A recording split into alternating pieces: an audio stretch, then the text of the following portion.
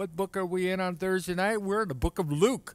What what chapter we're in? We're in chapter eight. Luke chapter eight tonight as we continue along in God's Word. Luke chapter eight.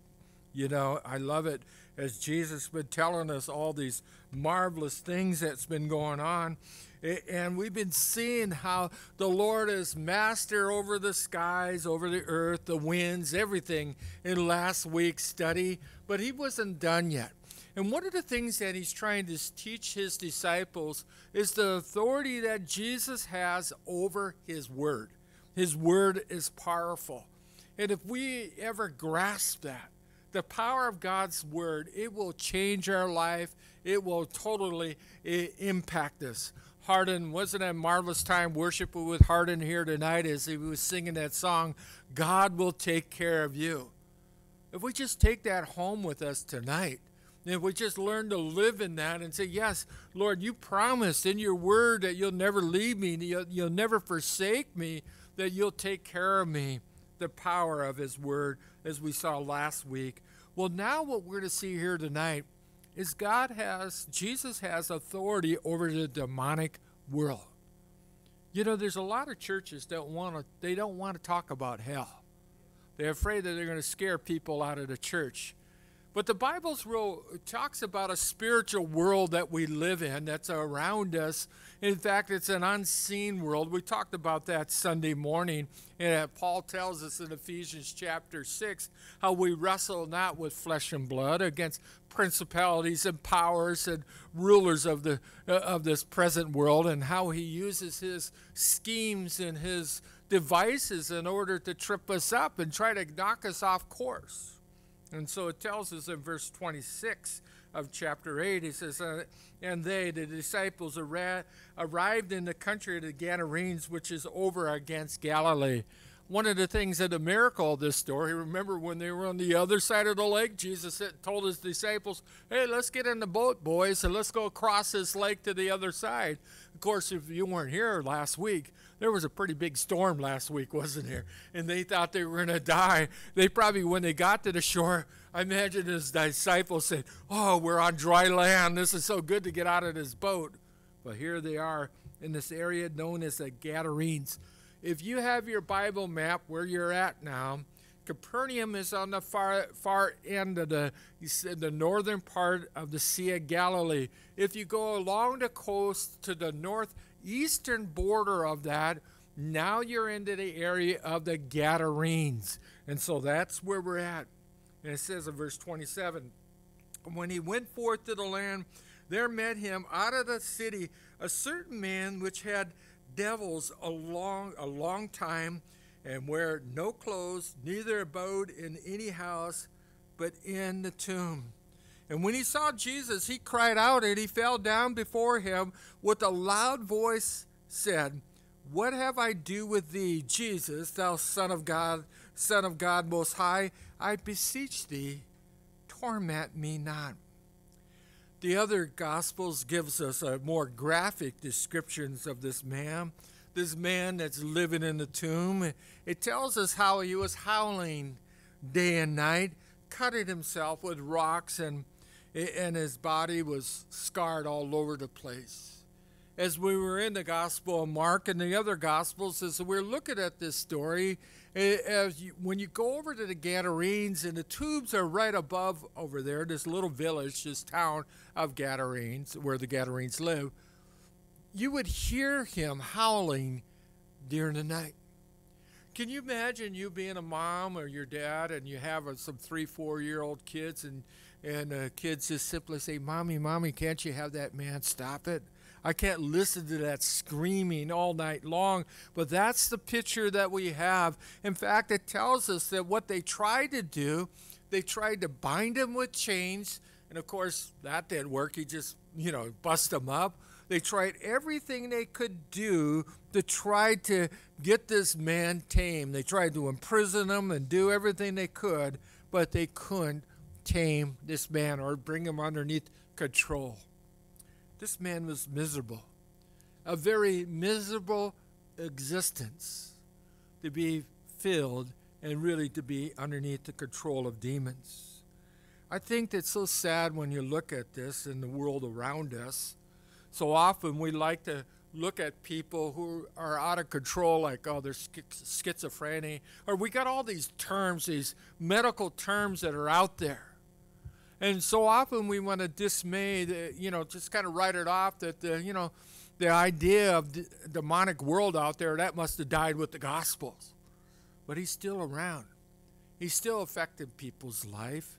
It's amazing what Jesus Christ, when somebody comes to know Jesus Christ, how their life is changed no matter who or what it is.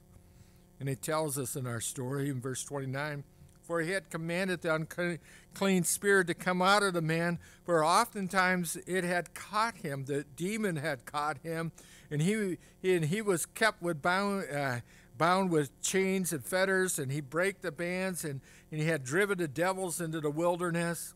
And Jesus asked him, saying, What is thy name? And he said, Legion, because many devils were in him. It's interesting, isn't it? Many devils were in this poor fella. Of course, the legion, as we understand, a legion is a, you know, was used during the Roman time. A legion constituted around 6,000 soldiers. Jesus asked him what his name was, and he says, My name is Legion because there's many of us. So you paint the picture how this poor guy was tormented day in and day out. In verse 31, it says, And they besought him, uh, Jesus, that he would not command them to go out into the deep. And this is a very interesting portion of scriptures that the demons themselves asked Jesus, Don't put us into the deep. What's he referring to there?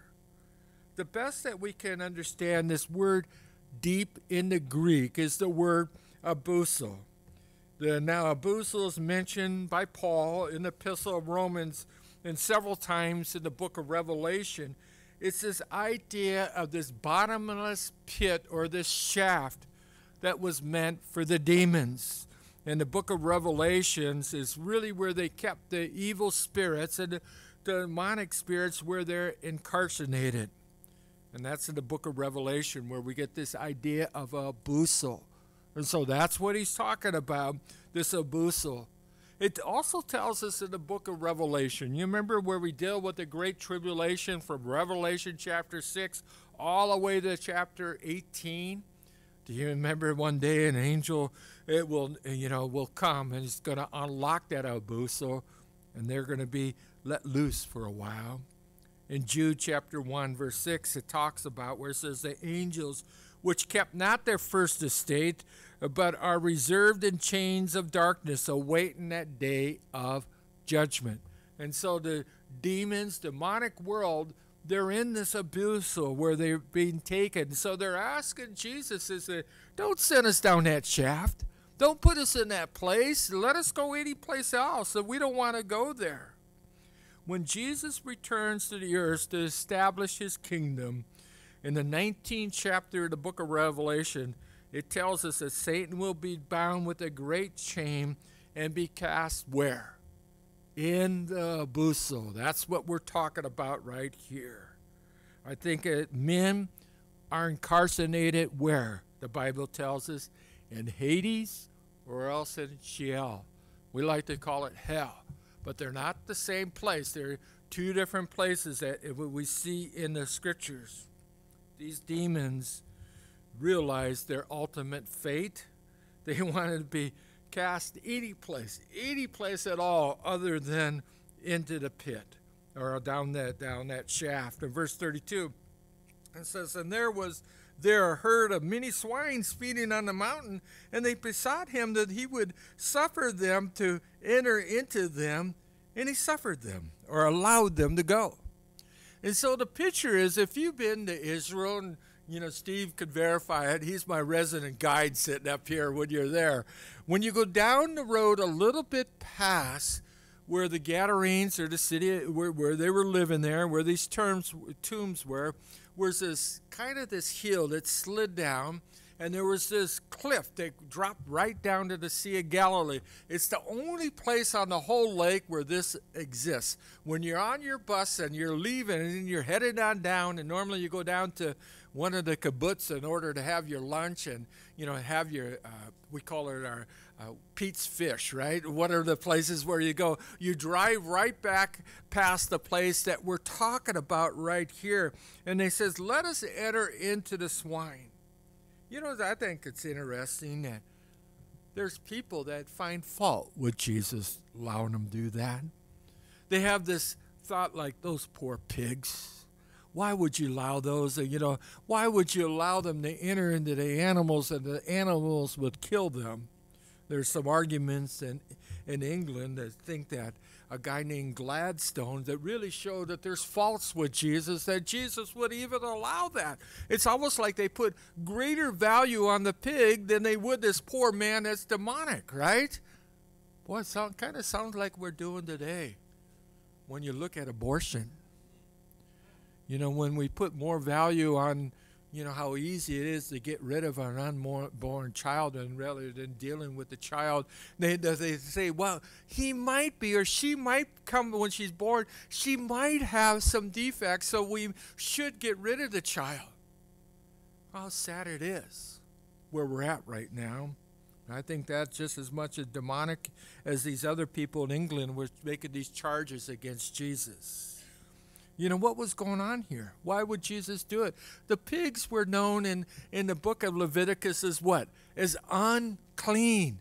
They were operating an unlawful industry. So Jesus was basically saying, hey, let's kill two birds with one stone, right? Let's get rid of the demons. Let's get rid of this, you know, unlawful practice that was going on. In verse 33, he says, Then went the devils out of the man, and they entered into the swine and the herd ran violently down a steep place into the lake and were choked. If, and when we ever go to Israel, I'm going to have the bus driver stop so we can get out and say, let's look and see if we can find any of the remnants of these, you know, skeletons of these pigs. Or you could hear, still hear them sque- squealing as they came running down that mountain as they went in there and they choke. He says, that when they had, uh, when they that fed them saw that what was done. They fled and went and told, told it in the city eh, and in the country. then they went out to see what was done, and they came to Jesus, and they found the man out of whom the devils were departed, sit at the feet of Jesus, clothed in his right man, right mind, and they were afraid. What a miracle! As we saw last week, Jesus having complete authority over the na- over nature itself. Say, peace be still, and there's a great calm. Now he has authority over the demonic world.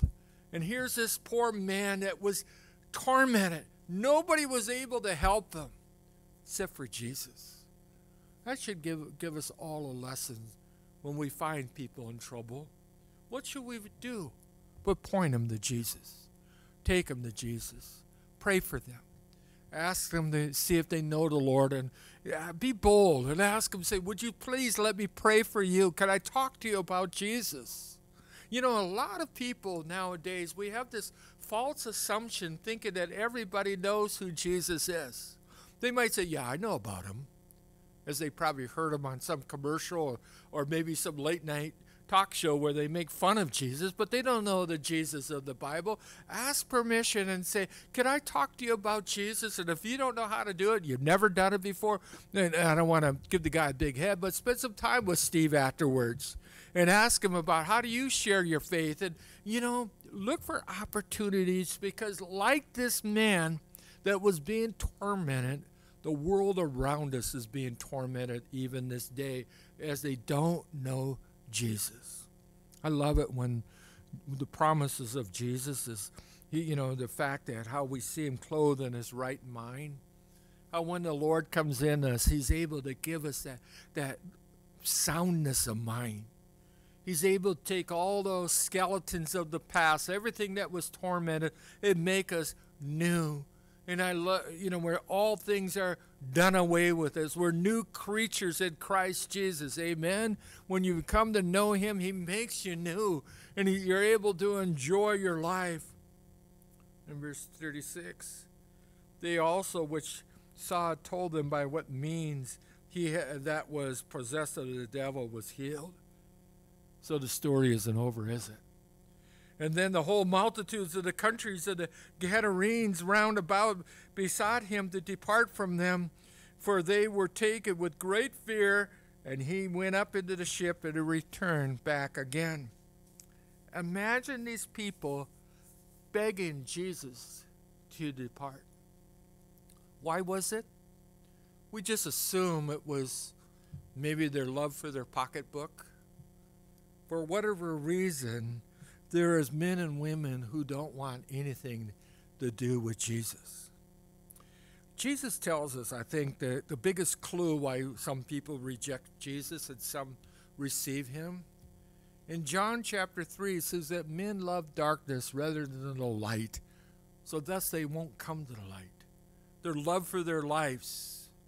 In verse 38, he says, Now the man of whom the devil was departed, notice it goes back to the story about him this man who's now whole, this man who now has a sound mind.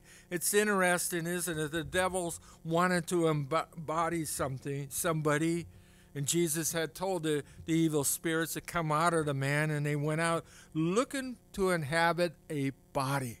I find that's real interesting how their terrible deeds, they want to continue doing their nasty deeds as much as they can. Later on in the Gospel of Luke, in chapter 11, when we get there, hopefully in a few weeks and not a couple of months, you know, depends how fast we move along. But in verse 24, it, it, it tells us if they had nothing that, that has replaced their the body, basically, once the demons had left, they'll come back into a person and they'll fill it with more demons. He says, once it's been vacant and once they leave, if we don't get filled with the Holy Spirit, they're going to come back with vengeance. As you share the gospel with Jesus Christ, make sure that you don't that you you know finish the story by praying with them and for them to receive the Lord and that they would be filled with God's Holy Spirit.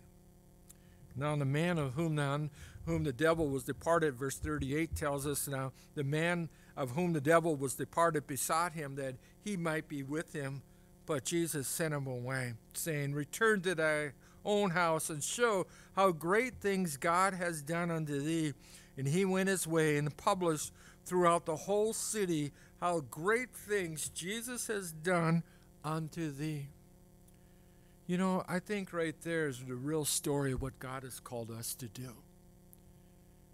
I, you know, my life is not just a, a preacher man. God has called me that I would be a light in the dark, this dark world. Each and every one of us, one of you here today, God has called you to, to do the work of, evangelism, that your life would make a difference. And you might say, How do I do that? You know, get yourself equipped, you know, you know, the best you can. But Jesus tells us what we should be doing right here. He says, Go to thine own house and show the great things God has done unto thee. Go your way and tell your story. Tell how good God has been to you how He's provided for you, how He's opened doors. And during the times of hard times, how I felt the comfort and the strength of the Lord. And, and tell people about the grace of God and tell your story. He says that's the, the strongest witness that you can give somebody is your testimony of what God has done for you. Jesus left a witness there. We're in this world that we might be that witness of who Jesus Christ is. You know, they rejected him. And there are those who uh, reject Jesus Christ. But until the day we're pulled out of this world, either by the rapture of the church or else it's our time to go home, I believe God wants us to be that light, to be the witness to the world around us. In verse 40, and it came to pass that when Jesus returned, the people gladly received him, for they were all waiting for us for him. Isn't it interesting the contrast of the crowd? On one side of the lake, Get out of here, Jesus. We don't want anything to do with you. And then on the other side of the lake, as he returns to Capernaum, they were almost, sounds like they were almost on the shoreline, just saying, There's Jesus. Oh, we can't wait for him to get there. They've seen the miracles, they heard the teaching, and they've seen their lives were being impact, how many lives were being impacted, and they wanted him to be there. And behold, there came a man named Jairus and he was a ruler over the synagogue, and he fell down at Jesus' feet and he besought him that he would come into his house. It's interesting. When you go to Capernaum today, you're able to stand right there at the synagogue, right on top of it. Of course, there's been buildings and building projects over top of it, so you got the Crusaders floor and everything else. But you're able to go to the side of it, and you could look down and you could see the the, the level where Jairus was, and you could actually see the stone where he was at this time. It's an amazing place to be there in Capernaum. But Jairus had a problem that drove him to Jesus. You know, a lot of times circumstances in our lives you know, I like to think or like not to, you know, problems bring us to Jesus, don't they? They bring us to prayer. And when we do have problems, that's the right thing to do is to follow the example of Jairus is to run to the Lord. He says, cast your cares upon him. Why? Because he cares for us. And he tells us in verse 42 about Jairus, for he had only one daughter, about 12 years old, and she lay, uh, lay uh, dying. But as he went to the people, thronged him. So here, as he's getting off the boat, the shore, Jairus ran down there by the shore, by the Sea of Galilee, and say, "My goodness, would you come, please, and help me?" And of course, Jesus responded to him, and he started telling him, "My daughter's only 12 years old. Can you picture this, Dad?" in the desperate situation that he's in, I would be filled with tears as I'd be crying. I'd be telling Jesus, I said, please come and help my daughter. And this big crowd around, I would be saying, get out of your, get out of our way. Make way. I got to get Jesus to the house. But that's not the end of the story, is it? Verse 43. And a woman having an issue of blood 12 years had had spent all of her living upon physicians, neither could, could be healed of any. And maybe uh, some of us could relate to that. Spend all your dollar and everything, all your money on doctors. He says none of them could help. And he says, and came behind him and touched the border of his garment. And immediately her issue of blood stanch or was, was healed at this point. And Jesus said, Who touched me? When all denied, Peter and the, that, were, that were with him said, Master, the multitude th- throng thee and press thee, and you say, Who touched me? Basically, they were saying to Jesus, Are you nuts? Thinking that we could keep track of everybody? Everybody's bumping into everybody else. But Jesus knew that something happened. That you could you picture this woman, 12 years so we have two people in a place of desperation. Jairus running to Jesus for his daughter that's dying. This other woman, I don't know her name, Sally, whatever you want to call her at this point, she's suffering. She's 12 years being sick. Can you picture that? How long and how miserable she must have been? And she just reached up and by faith and touched the hem of Jesus. And Jesus said, Somebody touched me in verse 46. There's a vast difference between thronging around Jesus and touching Jesus. There's a big difference of just going to church and hanging out with Christians, but going there to meet the Lord and spending time with Him and drawing close to Him and I just pray during our time of worship and as we gather together, we come to Agape Chapel in order that our lives might be changed by Jesus.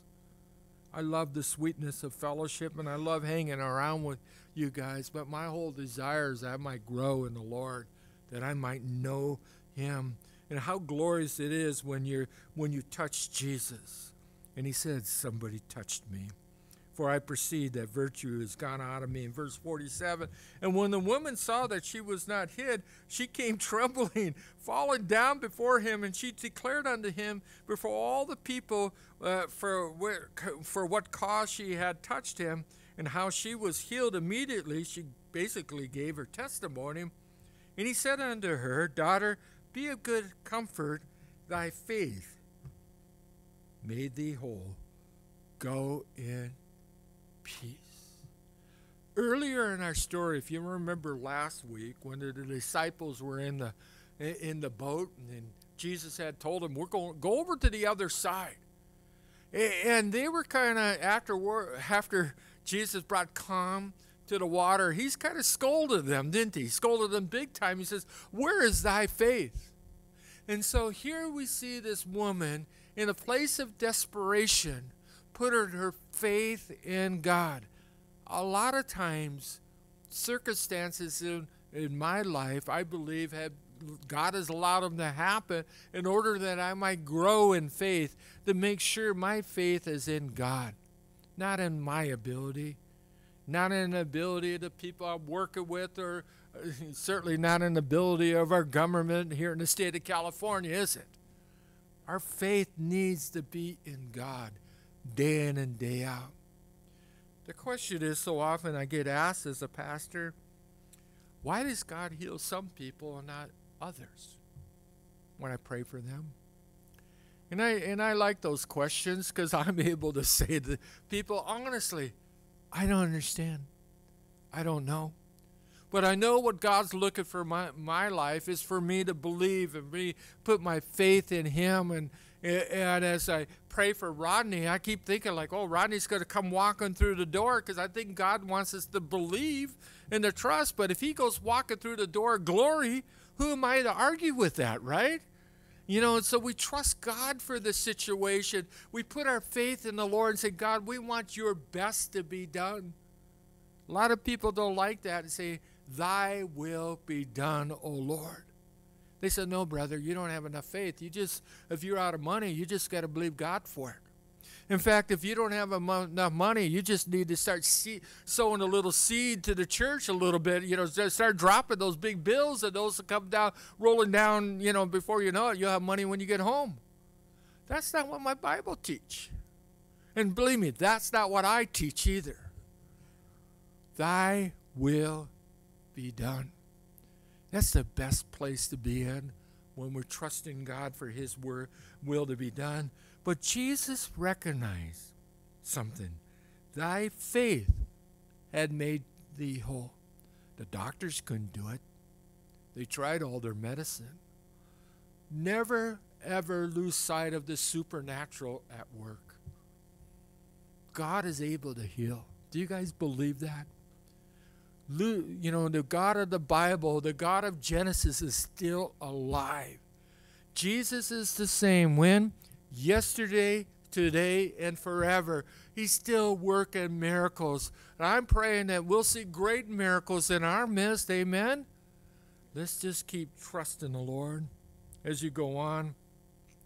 While he yet spake, there came uh, uh one from the ruler of the synagogue's house, saying, Thy daughter is dead.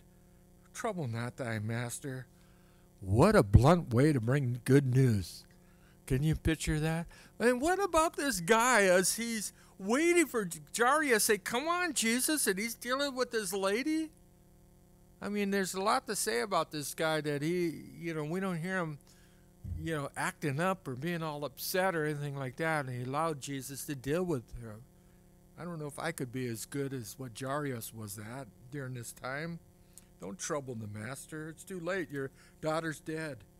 But when Jesus heard it, he answered him and saying, Fear not, believe only, and she shall be made whole. Now we have two times within a, just a few verses where he tells this one woman, Thy faith hath made, made thee whole. Now he's telling here Jairus just to believe and your daughter's going to be made whole. The best that we could tell, this guy who came running to him you know, and everybody back at the house had assumed the daughter had died. And there's no reason for us to doubt that he, she hadn't died at this point. But Jesus says, Don't fear, don't panic, just believe, and she'll be made whole. And when he had came into the house, he suffered no man to go in, save Peter, James, and John, and the father and the mother of the maiden. Put your you ladies, put the shoes of the wife on. You guys put the Jairus' shoes on. Now you're walking through the door of the house. And you're going into the bedroom where she's laying. And it tells us, and all wept, and all bewailed her. And he said, Weep not, she's not dead, but sleepeth. And they laughed him to scorn. That's the words of unbelief. That's the words of not believing in miracles and the God of the Bible. They laughed him, they laughed Jesus to scorn, knowing that she was dead. There's no pulse, there's no heart beating. She's gone. Who do you think you are, Jesus? What are you doing to this, the parents by believing that a miracle is going to happen? And he put them all out. All these people that were in the house. And, and it, I think there's something about the authority of Jesus that he told them, probably said, looked at them all and said, Get out. And they go, Oh, yes, sir. And out they went. They emptied the house. And he took her by the hand and called, saying, Maid, arise. I love the gentleness of Jesus. I love her, the way his kindness is. Remember, she's 12 years old. A little girl just laying there on the bed. And her spirit came again. And she arose straightway, and he commanded to give her meat. Otherwise, she needs a hamburger. Feed her. Give her something to eat. What are we seeing here? As I opened up, the power of the words of Jesus. He's been healing. He showed, demonstrated to us the, the power over the winds and the sea, the power over the demonic world. Now we see in his word the power over death itself. Later on in the Gospel of John, in the great I ams that we'll be looking on at during Easter weekend, where Jesus declared, He says, I am the resurrection and the life.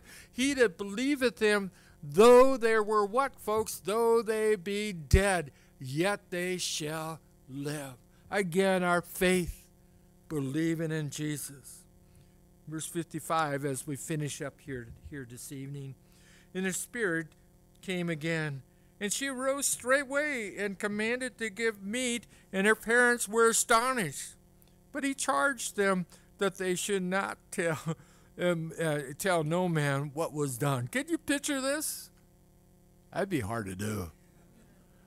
He wasn't quite ready that, you know, that everybody would want to rise him up as the Messiah that would overthrow Rome because that's what the thought was is they were looking for this great king, this somebody was going to overthrow the Roman you know empire and all the tyranny that they were facing. Jesus was speaking about a different kingdom. First words of the gospel that Jesus tells us in Mark chapter 1. He says, Repent, for the kingdom of God is at hand. Jesus was always about declaring the kingdom of God through his works, his words, and now demonstrating through his miracles. As we go on through the Gospel of Luke, we're going to continuing to see how Jesus, through the miracles and the things that he say that he says and states, how he declares who he is, the Son of God, the Messiah, who will save us. Let's go to the Lord in prayer.